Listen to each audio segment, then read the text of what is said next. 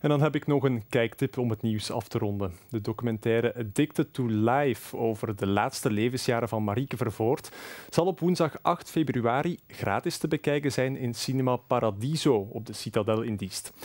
De Paralympische rolstoelatlete stierf in 2019 na euthanasie en werd daarna ereburger van Diest.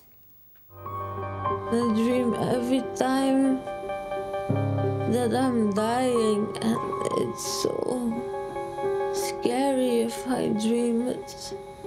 If you can't breathe and you can do nothing about it.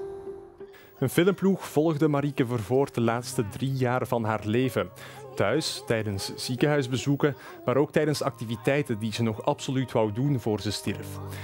Ook haar laatste dagen werden in beeld gebracht. Op 28 januari gaat de documentaire in première op het Filmfestival van Oostende. Een gratis ticket reserveren voor de vertoning in Diest doe je op ccdiest.be.